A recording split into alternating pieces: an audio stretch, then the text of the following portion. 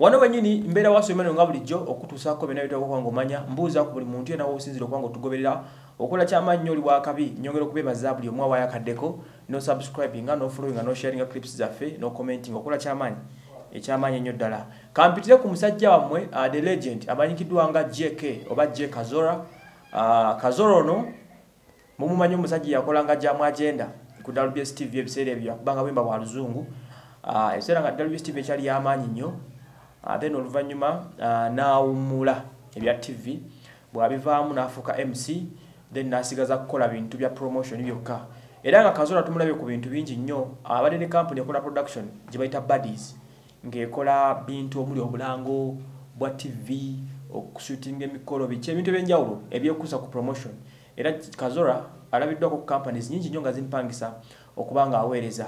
nga mc oba host owa projects zaabwe mwalabizako eza pepsas nga ziweereza dstv zinile zizenga zimupangisa. Bitongole bingi nnyo ebitera omupangisa n'abikolera nga special uh, nga special man okulabika nti ahostinga ebintu byabwe. Agira ku order n'akikuba emyezi ebiri promotion bwegwa n'addayo n'awumula. Naye ennaku ezo abadde yafuna omulimu ku ubc wali nga yakulembera tv department ya tv emanyikiddwa nga magic 1 hd of course gyebadde addukanya uh, kazora ng'akola nga general manager bamuyite gm waayo uh, magic hd oba magic 1 zezimu ku tv ezo ennyingi ubc tv zerina uh, ubc tv broadcasting corporation erina star tv erina magic 1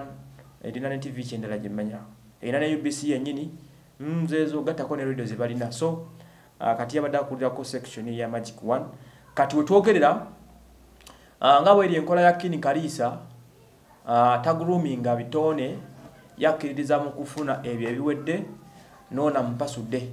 amugase ku tiimu ye era nga ntegeddeko nti amwadde program yanikiddwa nga late chat the legend edition egenda kubeerangayo ku lwesande era nga olunaku lwaleero bika lwetandika.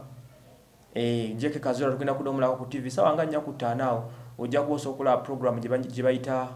uh, late chat the legend edition. Buli lunaku olwesande ng'omukulu j kazora yagikuweereza wali ku next media ono aba mugase kwaba enkumulitu baza awamba oba bazajja ku tvs endala okuli gwe yali akasembayo zambali blasio mukasa oyajja ku bbs fatuma nalugwa oba hatima nalugwa